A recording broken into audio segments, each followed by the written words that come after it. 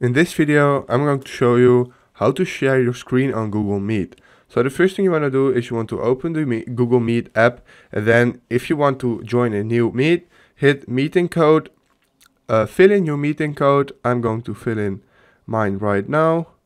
This is my code. This will be uh, disabled when uh, it's over so you can join this for uh, fun or something.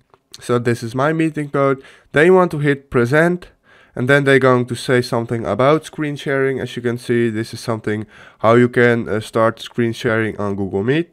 This is just okay and then you hit continue. And now you're going to join and as you can see you can start screen sharing on Google Meet right now.